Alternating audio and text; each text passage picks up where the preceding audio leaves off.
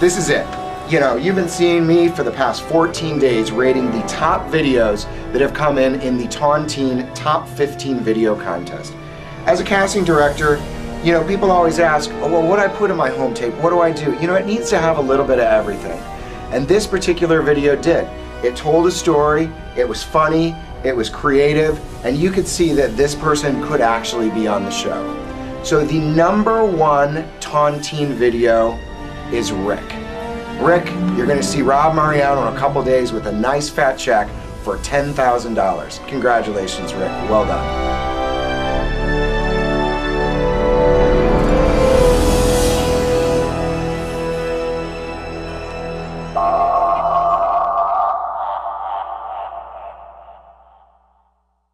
My name is Rick Henry, and I will win Tontine.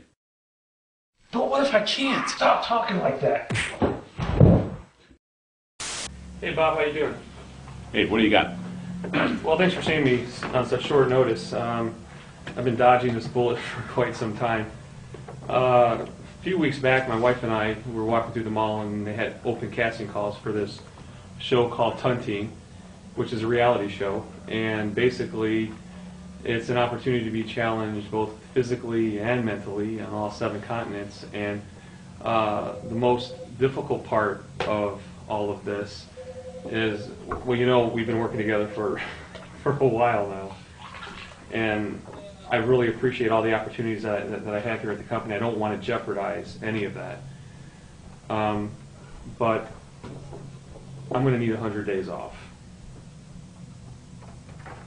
What the f- are you talking about? Hi, I'm Rick Henry. Well, he's Rick Henry. Tontine audition number 100192. In a second, you'll learn a brief history about him and why he will make a great contestant on the show. Rick Henry. Rick Henry of Chris. He is Rick Henry. Rick Henry, it's Eric Romine spent some time with him and has his story. Ran from Chicago to St. Louis, back to Chicago. He'll run about 45 miles a day. Why? Because I can. Right off the bat, I feel like I'm right for the show because I already sort of live my life in a tontine fashion. Possession is everything, but it's not just possession of materialism like possession of money, possession of car, possession of house. I believe it's possession of knowledge, possession of ability, and when you combine all of these different types of possession, you have the ability to give. I've always had an athletic background, and here within the last uh, 10 years, I would say I've really hit the pinnacle of my athleticism. In 1998, I ran 1,000 miles. I ran from Chicago to St. Louis and back in 30 days for a little boy that was dying with neuroblastoma. Um, I have a history of working with charitable organizations for kids. I've developed a certain image where people really think I'm prone to helping.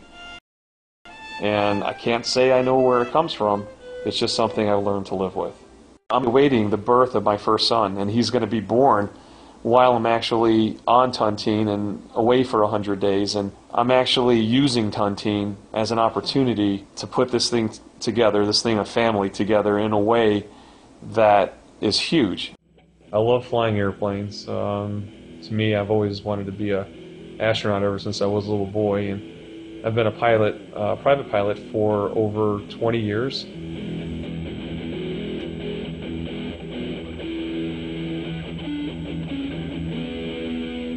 Um, I love to play guitar. Um, everything I've done is is risky. Waking up in the morning for me is risky, just because I don't really carry myself in the usual and customary.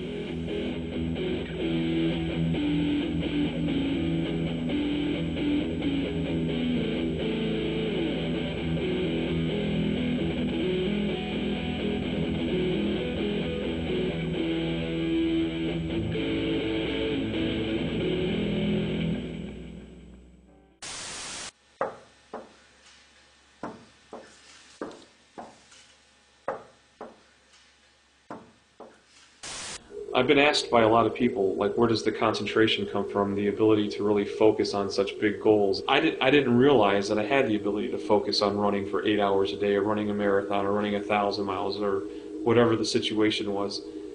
I, I just discovered that within me, I had the ability to focus for very long periods of time. And that translated not only physically, but also with any task that I get myself involved in. I have an ability to focus intensely for very long periods of time.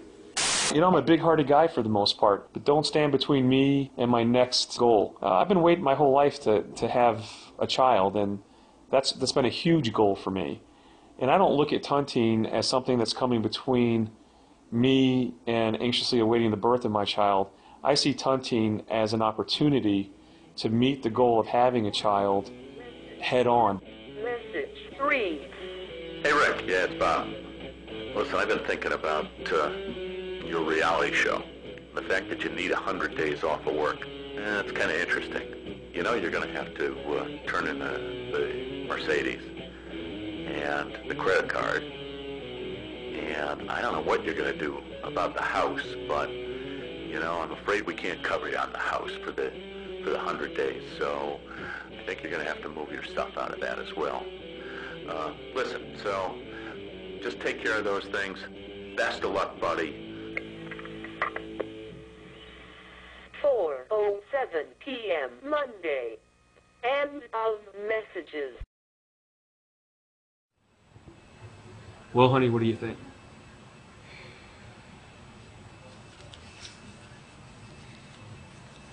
Honey, let's do it.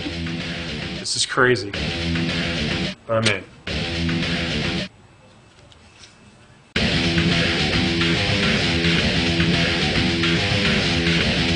Daddy.